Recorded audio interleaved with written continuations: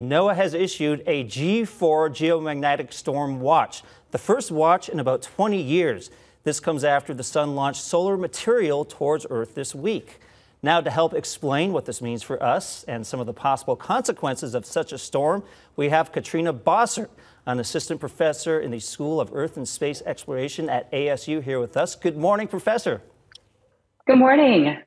Yeah. Right. So the first, uh, the first question I want to ask you is what exactly is a geomagnetic storm? Well, a geomagnetic storm happens when the Earth's magnetic field gets displaced, and uh, you, you can end up with with um, these magnetic field lines causing material to be thrown towards the Earth's atmosphere. Um, and this this uh, when we get into the storm time, this can extend very far southward to to, to middle latitudes. Um, so it's it's possible to see aurora at, at um, lower latitudes than just the polar region. I was going to ask you, so it is possible we could see something here in Arizona. I have heard the further north you go, the better, but you're saying maybe we could get a view here in Arizona. Yes, well, what I'd suggest for people in Arizona is that you know the aurora take place pretty high in the sky.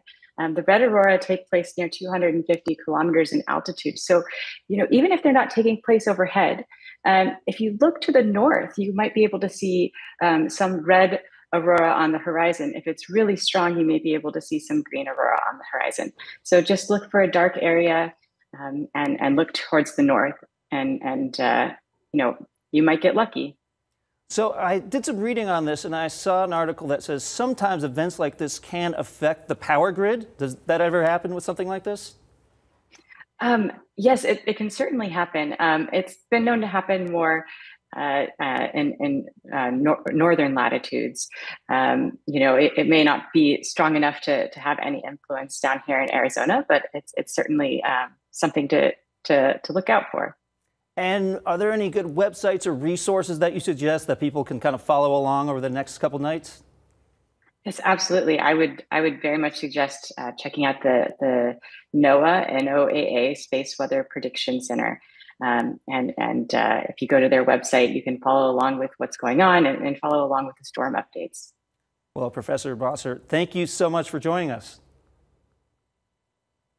Yeah, thank you. All right, back to you. All right, Pete.